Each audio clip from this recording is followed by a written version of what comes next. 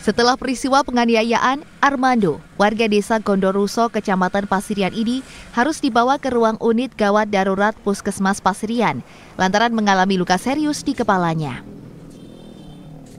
Pelaku penganiayaan tersebut adalah Ude, warga Kecamatan Pasirian yang masih memiliki hubungan saudara dengan korban. Peristiwa penganiayaan tersebut terjadi saat Armando bersama temannya hendak pulang usai mengantarkan material pasir. Saat melintasi jalan di sekitar balai desa setempat, tiba-tiba saja pelaku menghentikan mereka. Setelah korban turun dari truk, pelaku kemudian langsung membacok dengan senjata tajam yang dibawanya.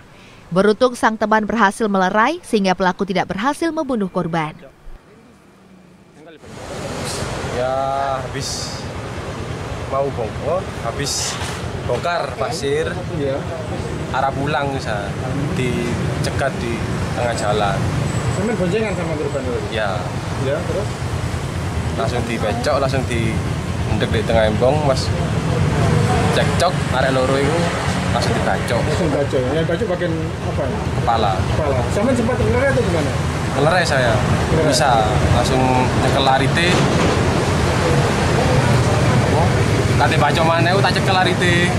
Aku ngerebut larite, dile kok bacok sing pindone mana. Usai mendapatkan laporan, aparat kepolisian langsung melakukan olah tempat kejadian perkara. Tidak hanya itu, polisi juga melakukan penggeledahan di rumah pelaku yang sayangnya sudah tidak berada di rumahnya.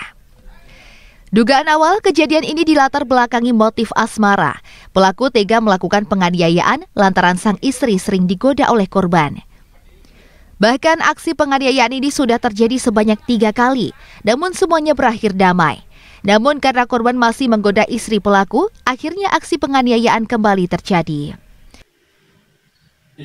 Jadi kami Polsek Pasirian bersama dengan Reskrim sudah melakukan upaya uh, pemeriksaan beberapa saksi dan mengarah kepada uh, seseorang yang inisialnya U untuk sementara kita lakukan penggeledahan di rumahnya uh, akhirnya kita temukan rumah dalam keadaan kosong dan sampai sekarang masih kita lakukan pengejaran terhadap pelaku tersebut.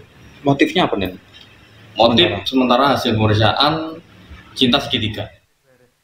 Saat ini polisi masih terus melakukan pengejaran terhadap pelaku yang diduga sudah lari keluar kota.